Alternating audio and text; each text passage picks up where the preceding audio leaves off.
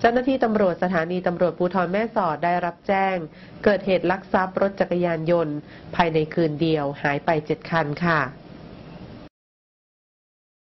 เมื่อเวลา 8 นาฬิกา 30 นาที ของวันที่ 16 กุมภาพันธ์ 2560 พันตำรวจเอกประยูนกำลา รองสารวัตรสืบสวนสอบสวนสถานีตำรวจภูธรแม่สอดจังหวัดตาก รับแจ้งเหตุลักทรัพย์รถจักรยานยนต์หลายคัน ที่สัญชัยเกสต์เฮาส์ เลขที่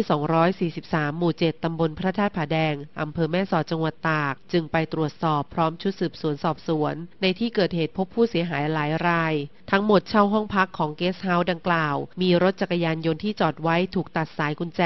และขโมยไปถึง 4 คัน ขณะที่เจ้าหน้าที่ตำรวจกำลังดูภาพจากกล้องวงจรปิดได้มีการรับแจ้งว่ามีรถจักรยานยนต์ที่หายไป ถูกจอดไว้ที่ป่าละเมาะฝั่งตรงข้าม เป็นรถจักรยานยนต์ยามาฮ่าฟีโน่ทะเบียน 1กไก่คอระคัง 5410 ตาก ซึ่งเป็นของนางสาวนภพัฒน์หลังทราบข่าว นางสาวนภพัฒน์วิ่งไปดูด้วยความดีใจ เพราะรถของตนมีราคาสูงถึง 50,000 บาท พบว่ามีร่องรอยการถูกงัดบริเวณฝาหลัง เพื่อต่อสายตรง จนได้รับความเสียหาย จากการตรวจสอบกล้องวงจรปิดคนร้ายเข้ามาระหว่างเวลา1นาฬิกา50 นาที โดยการใช้น้ำกรดหยดใส่รูกุญแจรั้ว จนเปิดออก จากนั้นจึงช่วยกันเข็นรถจักรยานยนต์ออกไป ส่วนคันที่ทิ้งไว้จากการตรวจสอบบริเวณรอบๆป่าพบกองอุจจาระทิ้งไว้คาดว่าคนร้ายอาจจะปวดท้อง หลังจากถ่ายเสร็จแล้ว มีชาวบ้านผ่านมา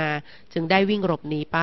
นอกจากนี้ในเวลาไล่เลี่ยกันตำรวจชุดเดิมได้รับแจ้งว่ามีคนร้าย เข้าโจรกรรมรถจักรยานยนต์ในโรงเรียนบ้านแม่กืดหลวงตำบลแม่กะสาอำเภอแม่สอดจังหวัดตาก หายไปจำนวนสองคัน ที่บ้านเลขที่ 109 หมู่ที่ 3ตำบลแม่กะสาอีกหนึ่งคัน ขณะนี้เจ้าหน้าที่ได้นำกำลังออกสกัดตามแนวชายแดน ที่คาดว่าคนร้ายจะนำข้ามฝั่งไปประเทศเพื่อนบ้าน